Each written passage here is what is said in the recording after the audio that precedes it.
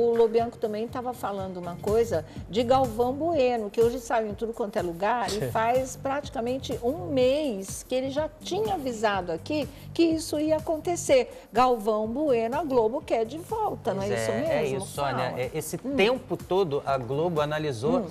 É, sem querer desprestigiar, claro, o trabalho de grandes outros narradores, não, a Globo avaliou que ainda não tem o um nome uhum. de peso mesmo com a importância e a dimensão que o Galvão tem para o público, uhum, né? Para uhum. o apelo popular do Galvão. O Galvão conseguiu entrar numa crescente na internet também e eles, eles fizeram uma análise mostrando que os jogos que o Galvão narrava davam mais engajamento sim, nas redes sociais. Sim. Falando bem ou falando mal, uhum. fervi é. fervilhava as Cala redes a boca, sociais. Galvão ou não, Nossa, fervilhava, fervilhava muito. Né? Um e, e, deu uma murchada.